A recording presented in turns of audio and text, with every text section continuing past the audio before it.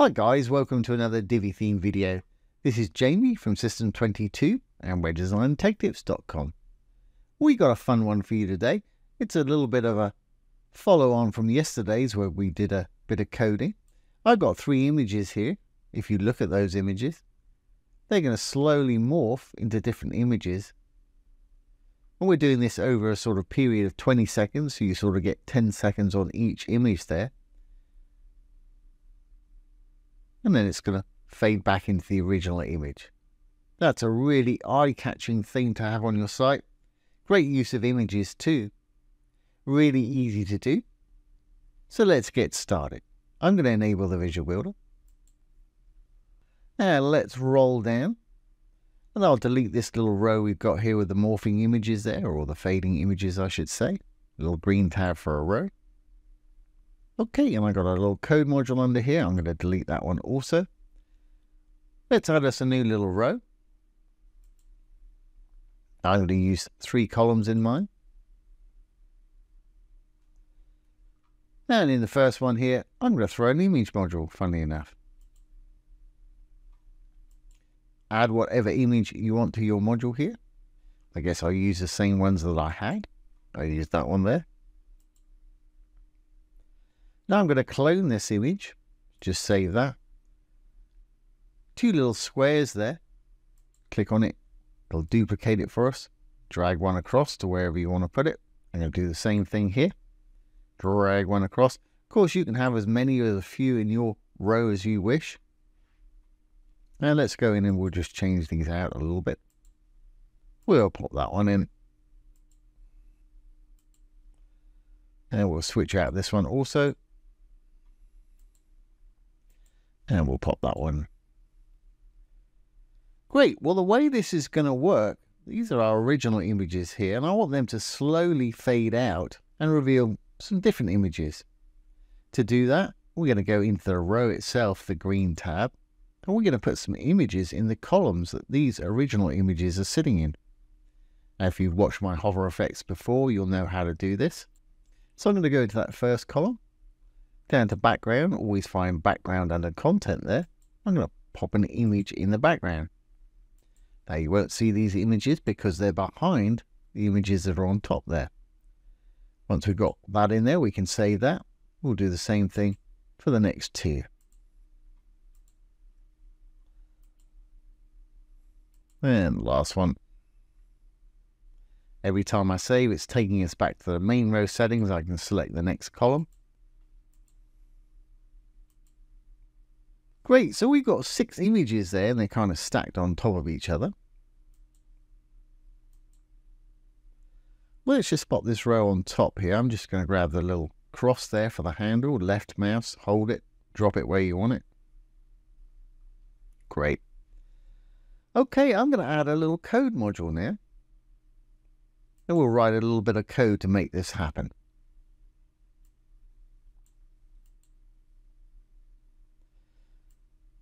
Okay, I'm going to put this code down below the video when I'm done here. But it's always a good idea to get in the habit of writing CSS because you can take your design skills to the next level. It's really not difficult. The only thing I can't put down below are these style tags because of the pointed brackets. So you'll have to write your own if you're using a code module. And style tags are left pointy, the word style, S-T-Y-L-E, right pointy bracket once you put the right one in, it puts a closing tag in there. That tells it that this is CSS that we're writing here. First thing we have to do is come up with a class name. All class names have a dot or a period in front when you write them as code. So let's call it IMFD. That's my shorthand for image fade, if you like. We can open and close some more curly brackets here. What do we want to do? Well, I want to create an animation where they sort of fade out and fade back in again. So I'm going to say animation, colon, then we have to give it a name, and let's say FDIM. It's a backwards version of my class name there. You can call yours what you want, but it needs to be unique.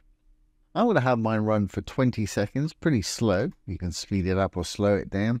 Obviously, speed it up by giving it a lower number. This will become apparent, apparent in a little while, or slow it down with a larger number.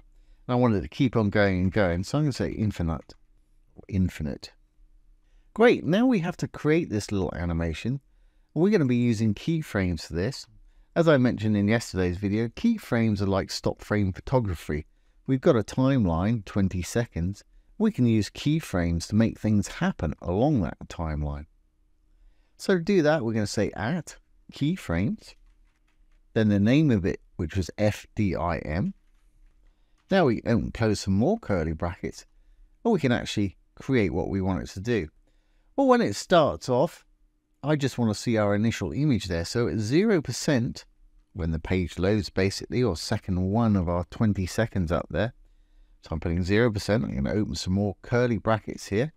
Inside, I'm going to say opacity, and that's how much you can see through an image, colon 1. That is fully visible, so it's no see-through at all, so you can't see the image behind it. I'm now going to copy this from the zero to the closing curly bracket there. And drop down. I'm going to paste it two times. At 50%, I'm going to make that a zero. So halfway along our 20 seconds, at basically the 10 second mark, this image, or any image we apply this class name to, is going to become invisible and reveal the image that's stacked behind it. Then when it gets back to 100%, the 20 second mark, I want it to be visible again. So it's sort of fading. It's in, it's fading out, and it's going to fade back in, and it'll fade back out again when we do that. Now, of course, you can't see any animation happening because we haven't applied this class name.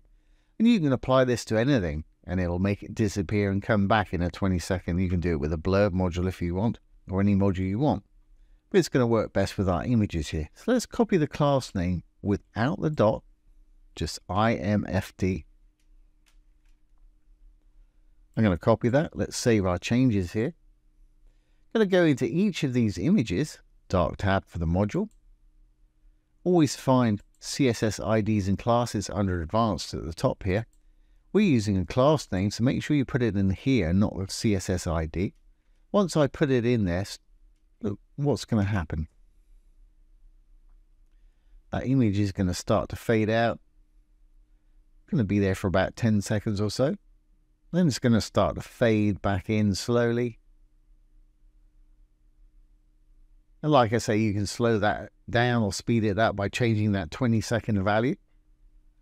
To make it happen on any other module, I'm sure you're ahead of me on this. You need to go into whatever module you want to work on give it that same class name. Same for our last one here.